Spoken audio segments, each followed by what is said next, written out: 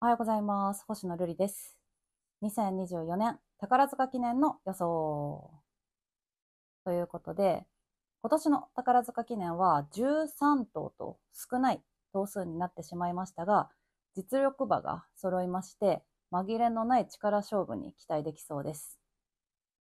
まずはデータ分析動画のおさらいからしていきたいと思います。それでは早速データその1。前年の有馬記念組。前年の有馬記念に出走した馬が過去10年中9年で馬券に絡んでいます。今年出走する前年の有馬記念組は、ドーデュース、ジャスティンパレス、ソウルオリエンス、プラダリア、ディープボンド、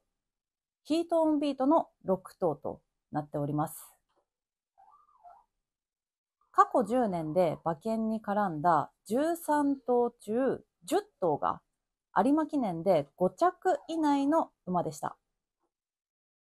こちらの表は過去10年で出走した有馬記念5着以内の馬の成績になっています。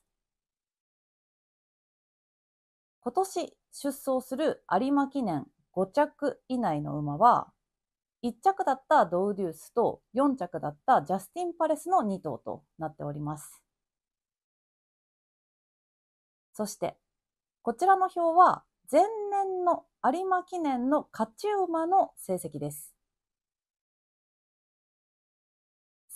1992年から15頭が出走して、馬券に絡んだ馬は15頭中8頭となります。半分ぐらいしか馬券に絡めていないというのは少し少ない感じもします。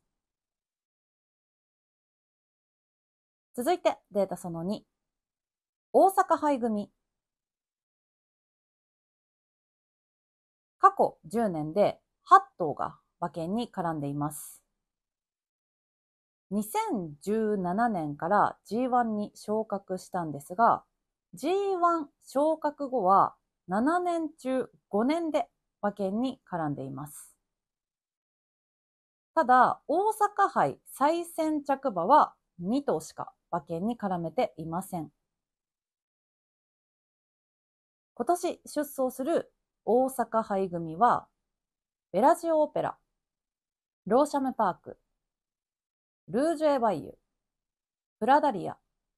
ソウルオリエンスの5頭となっております。続いてデータその3。前走海外組。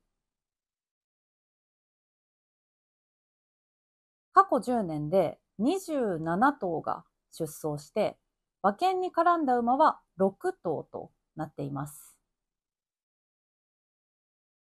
今年出走する前走海外組は、ドウデュースとジャスティンパレスの2頭となっております。こちらが馬券に絡んだ海外組の一覧です。2018年は香港の馬のワーザー以外は海外で3着以内に構想していました。今年出走する2頭は2頭とも4着以下の馬でしたので、データ的にはかなりマイナスになってしまいます。こちらの表が前走海外組で4着以下だった馬の成績です。宝塚記念市場で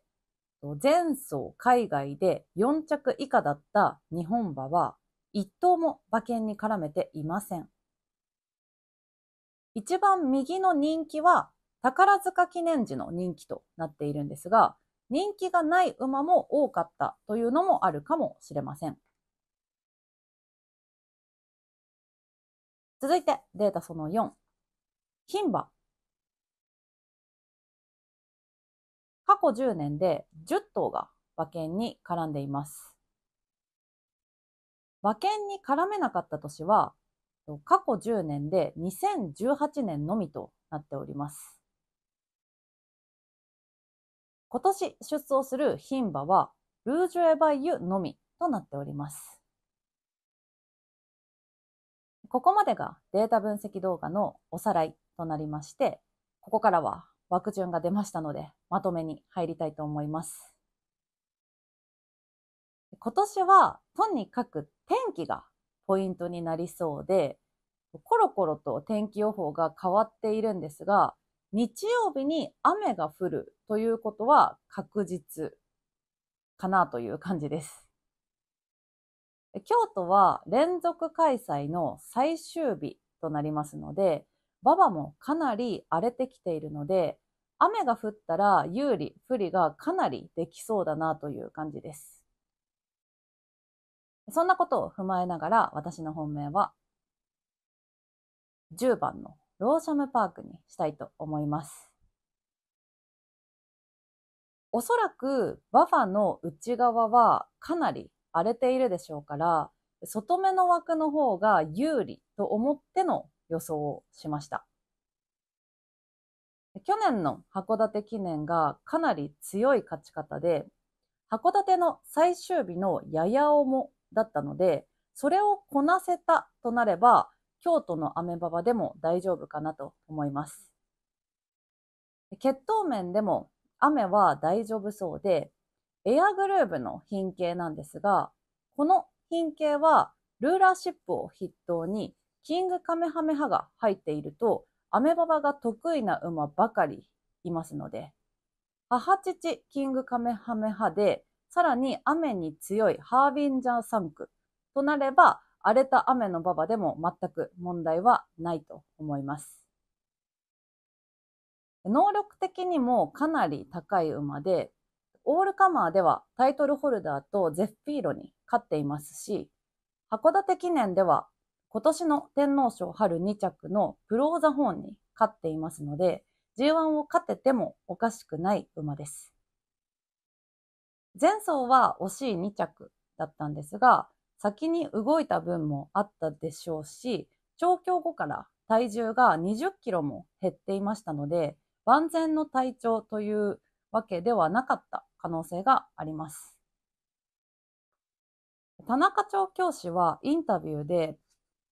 買い食いがあまり良くないと言っていましたが、本当にやばい状態なら言わないでしょうし、レーベンスティールの件も含めて最近は強気なコメントをしないので、正直に不安点をインタビューで喋っている今回は、あんまり気にしなくてもいいんじゃないかなという気がします。大阪杯はおそらく輸送で体重が一気に減りましたが、ソウルオリエンスのインタビューで手塚調教師が言っていましたが、関東馬にとって阪神より京都の方が輸送が楽と言っていましたので、ローシャムパークも前走ほど体重が減るということはないんじゃないかなと思います。調教でも前走より動いていますので、絶不調で挑んでダメージが残って帰ってきた香港カップ後よりは間違いなく体調はいいはずです。調教師は前走時の馬体重でもギリギリぐらいと言っていましたので、当日の馬体重がプラス10キロぐらいで出走してきたら、本当のローシャムパークでドードゥースや、えっと、ジャスティン・パレス相手でも勝ちきれる可能性は高いんじゃないかなと思います。以下は1番のストルーベ、2番のジャスティン・パレス、3番のベラジオ・オペラ、4番のドウデュース、5番のディープ・ボンド、12番のプローザ・ホーンまでということで、買い目なんですが、3連複で流したいと思います。なので、3連複の一等軸流しで、軸が10番。相手が1、2、3、4、5、12。6頭で計15点。このあたりで資金配分して購入しようかなと思っております。じゃあ、楽しみな J1 となりましたが、一緒に的中させましょう。2024年宝塚記念の予想、こんな感じで終わります。参考にしてみてください。じゃあ、またねー。